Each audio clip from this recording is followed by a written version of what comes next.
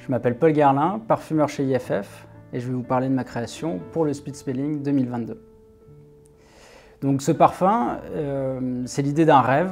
C'est le rêve d'une rencontre avec un monument de la parfumerie, c'est Sophia Groschmann, qui pour moi a marqué l'histoire de la parfumerie. Elle est indomptée euh, et ça a été vraiment une figure de cette parfumerie. J'ai voulu créer un moment hors du temps et donc cette création, c'est en quelque sorte un clin d'œil, presque un hommage à Sophia autour de ces trois ingrédients qui sont la méthylionone pour ce côté irisé mais aussi rosé, elle l'a beaucoup utilisé dans des notes rosées. L'aldéhyde C14, euh, qui est cette note pêche, euh, un peu lactée, et l'isobutylquinoline, qui est une note euh, verte et cuirée.